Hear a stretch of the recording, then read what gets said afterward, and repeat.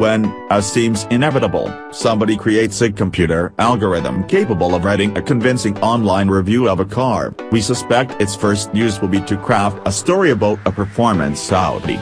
Because any digital analysis of past reviews will confirm that they do tend to follow a very predictable script. We haven't reached such a level of automation quite yet, for which we are truly thankful, but the new Audi TT RS Roadster seems to check pretty much every box on the list. Like almost all of its S and RS badged predecessors, the new car is incredibly quick and reassuringly adept at finding more than enough traction to match its potency in without much in the way of driver-flattering involvement that typically draws enthusiasts to sports cars. The new Roadster shares all of its principal mechanical componentry with its coupe sibling that we reported on earlier. That means a new, lighter five-cylinder turbocharged engine with an aluminum block in place of the cast iron crankcase power plant of the last car, and which lives on for now in both the RSQ3 and the RS3 hatchback. Neither of those is sold in the States, although we are promised the upcoming RS3 sedan. The new unit is claimed to be 57 pounds lighter than the old engine, with the significance of that weight savings amplified by the engine's location ahead of the front axle line.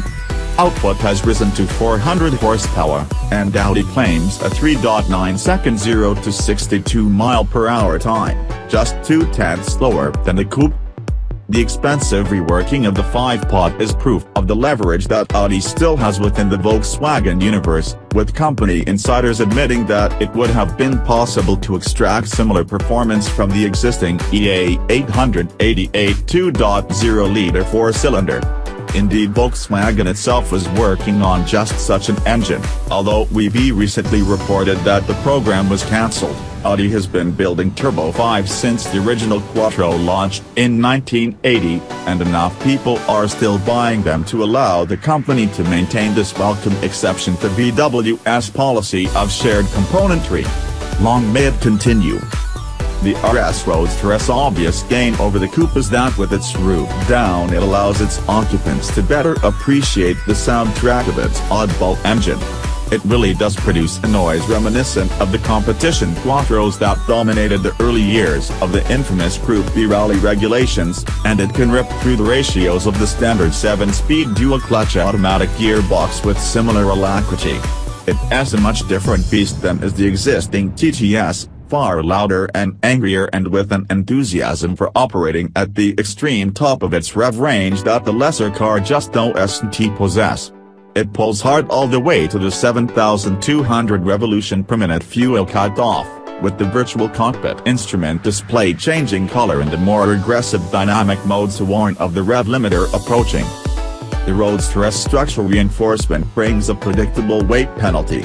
Audi figures it is 199 pounds heavier than the coupe, but the lack of a fixed roof doesn't bring any other significant compromise to the driving experience.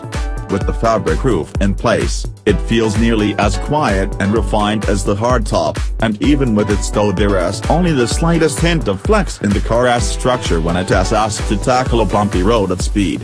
It feels similarly sticky, with the all-wheel drive system, the familiar Haldex developed hardware, now produced by Borg Warner, routing torque to the rear axle and finding huge grip even in damp conditions on the Spanish roads where we drove the car.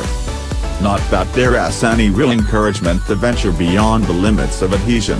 The RS's way distribution and torque dispersal are definitely front-biased, and although it understeers less than did the last generation RS, adding throttle at the limit just pushes the nose wider while it is possible in the Porsche 718 Boxster to adjust your vector by adding power to induce more rear slip angle, the only way to bring the RS back onto its intended track is to ease off the accelerator and make the car tuck in.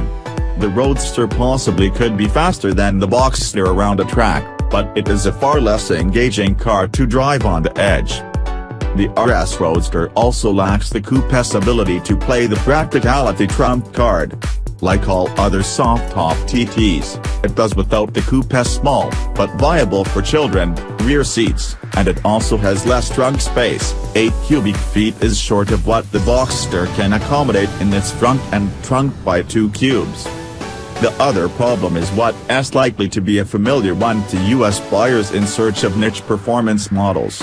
At the moment we retold that the numbers just don't add up and there are no plans to bring the RS Roadster here, although Audi also says there is no reason the Roadster couldn't be sold in the US if demand somehow materialized. Like we said, a familiar script, the script.